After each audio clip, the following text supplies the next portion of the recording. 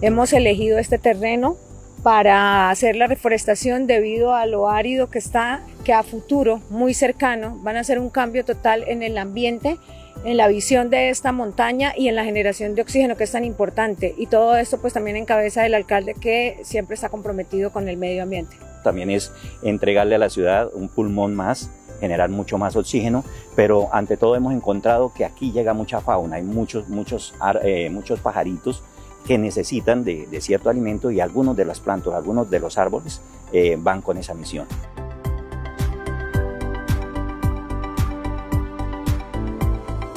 A los árboles toca como un pelado pequeño, mirar a ver si le están dando un bejuquito, quitárselo.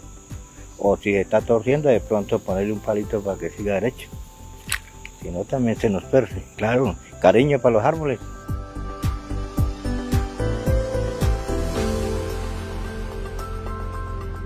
Donde va a poder cualquier ciudadano, nosotros mismos como funcionarios, hacerle seguimiento durante todo su trayecto de vida y cómo va creciendo, cómo va haciendo eh, la evolución de cada uno de estos árboles.